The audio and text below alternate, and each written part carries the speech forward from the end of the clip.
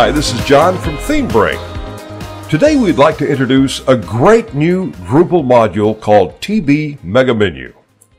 TB Mega Menu allows you to create a mega menu with an innovative back-end user interface synchronized with the Drupal core menu. So here's our front page and it's using a Drupal core menu system. And as you can see, it has only drop-down menu styles here. Now check the menu when you use TB Mega Menu. With TB Mega Menu, your menus can be displayed in columns. Plus, you can display not only menu items, but images, slideshows, videos, articles, and customize them any way you want, any style and animation. And all of this can be configured with just one click. There are three main sections of this video tutorial. First, we'll learn how to install the module, and then how to build up the mega menu, add some style and animation, and responsive navigation. All right, let's get started with the module installation.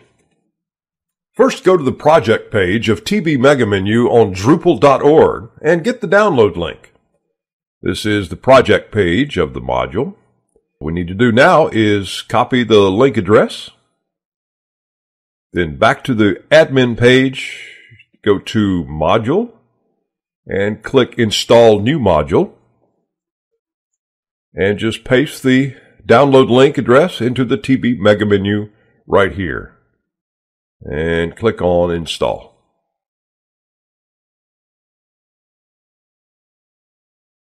All right, great. The module has installed successfully. Then we go back to the module page, and there it is. You'll see the TB Mega Menu module right here. TB Mega Menu requires you to install and enable modules chosen and font awesome. And so let's go ahead and install those two modules. To install these two missing modules, we're going to do exactly the same thing we did by installing the Mega Menu module. Access the two URLs to get the download links for those two modules. And then after you install those two modules, you need to add libraries of the two modules to your site library folder. First, let's download the jQuery of the chosen folder.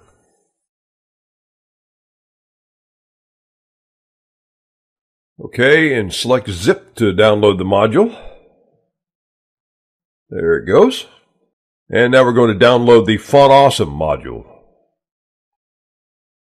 Click the download button. We're going to extract the two files that we've just downloaded into folders. And then open the two folders one by one. The chosen module, we're going to copy the folder chosen right here and copying it to sites, all, and libraries.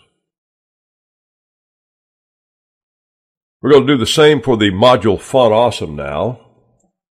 So copy the folder and stick it as there. In the module page, check the TB Mega menu and then save configuration. All right. Click on continue and this will enable the two new installed modules. Great. All of our modules, as you can see, are installed and enabled. And now we just need to set the main menu to the nav bar. To do this, access the blocks. Scroll down till you find TB Mega Menu Main Menu and then set it to Menu Bar. Move back to the top And now set the main menu and navbar to none. And save the settings. With our setup now complete, let's move to the next part, how to build up your mega menu. First, go to the structure page and click on TB Mega Menu Settings. Here we go. This is a list of the menus in your site, and we want to select the main menus config. And here is the configuration panel of Mega Menu. And let's explore the settings we got here. Select any menu here to configure. We're going to want our submenus to be displayed in a group, so let's enable that option. There we go. Now we need to set the width size of the submenu block, and let's try 750 pixels. Can also set the alignment of the submenu block. We have left, right, center, and justify. To add more columns, just select the column here and then click on the plus button and let's add two more columns. Now here's where the real magic starts to happen. For each of these newly created columns, we can add content by simply assigning a block to the column.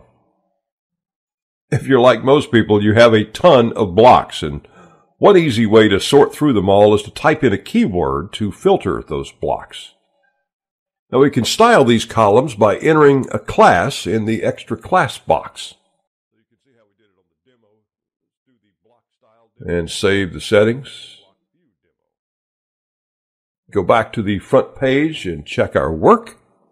It works perfectly. We have three columns, one with menu items and the other two with content blocks, our video and the latest articles of our site. Now, if you have menu items, we're going to show you how you can organize them with Mega Menu. First, let's make the submenu block a little wider. 850 pixels is probably enough. First, let's set the alignment for the submenu.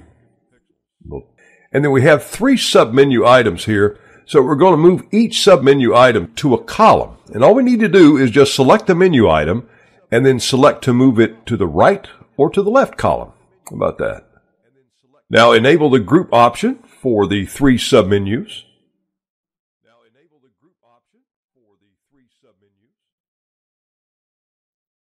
And now let's change the width of each of these columns here. You see, got a lot of white space to the right. Select the column and then set the grid for it. You see, we have three columns, so we can have a grid of sizes 4, 4, 4, or we can have two size 3s and one size 6. Just make sure the grid of all the columns equals 12. We have nine submenu items, so let's display them into three columns with three menu items each. Isn't that cool? But wait, there's more. We can even add a new row under the submenu block. For the row, its content will be from an assigned block, and let us select the block called TB Mega Menu. There we go. And we save our settings. And let's jump back out to the front and see what it looks like. We reload the uh, page to see the latest changes. And there you have it. All of our menus are now well organized with Mega Menu. Now, TB Mega Menu allows you to add some icons to specific menu items, and it's very easy to do. Here's how. First, you select a menu item, and then you add a class for the menu item, and it appears. You can add also a caption to any of the menu items. Just again, select the menu item and simply add a caption for it. Here is homepage. Now, in this tutorial, we're not going to show you how it looks on the front page as the styling of this template uh, doesn't allow for captions, but we did want to show you that it's available to you. Now, TB Mega Menu integrates Twitter Bootstrap, so you can use the class for the Bootstrap icons and simply drop them into your Mega Menu. Let me show you. So you just copy this, copy the icon class, come back over to uh, About Us, and then just drop it right into the icon field, and there you have it. Click Save, back out to the front, reload the page, and with Mega Menu, we now have menu items with icons. Now let's move to the next part of our tutorial, how to set the style and add animation for the Mega Menu. Here is our Mega Menu toolbox, and we select the styles, and we have four to choose from. Black is the one we will choose right now, and then animation drop down. You see we have all sorts of animation styles available to us, from fading, and sliding, zooming, and elastic. We're going to choose fading for this tutorial. And let's choose the duration. When the animation is active, you can set the delay and duration for the selected animation. And the higher the value, the slower the animation. For instance, this is set in milliseconds. 1000 milliseconds equals one second. Well, let's make it 300 and change the duration to 500 and we'll save that. 500 being a half a second. And go back out to the front and see how this looks now. Reload the front page. Look at that. Wow. As you can see, that mega menu style has now changed to black and we have a fading animation when we hover over it. Beautiful. All sorts of style and animation combinations you can uh, set up and you can check those uh, on your own. We're not going to demo that right now to save time for another feature that we want to talk about next, which is responsive navigation. TB Mega Menu is fully responsive. That means your menu is built with a module that fits all devices, desktop, mobile, and tablets. You can hide specific menu items and columns in a collapsed menu on mobile and tablet devices. And here's how Mega Menu looks when you enable and disable columns in that collapsed menu. When you enable this option, all submenus will be shown when you activate the navigation icon in the collapsed menu. If you disable this option, then the submenus are only shown when you activate its parent menu. Let's save this and show you how it works. As you can see, submenus only show up when you activate its parent menu saving precious real estate in your mobile and tablet template. And that's the end of our tutorial for today. Have fun with TB Mega Menu. And for more information, access our site at themebrain.com. Thanks for watching.